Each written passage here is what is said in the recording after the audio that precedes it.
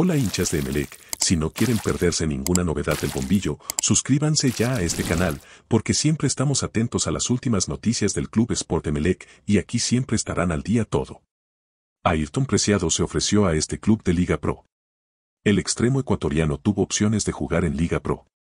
Estaba en un tira y jale con el club y finalmente el extremo ecuatoriano Ayrton Preciado no es más jugador del Santos Laguna de México.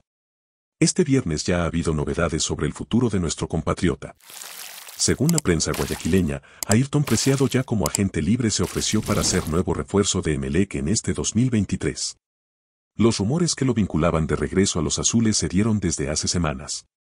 La respuesta de la directiva de Emelec a través de su presidente José Pilegui respondieron una negativa al ofrecimiento, estamos completos, le dijeron.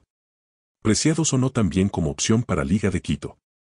Ya deja tu like en este video, suscríbete, comenta y comparte, para fortalecer este canal. Gracias.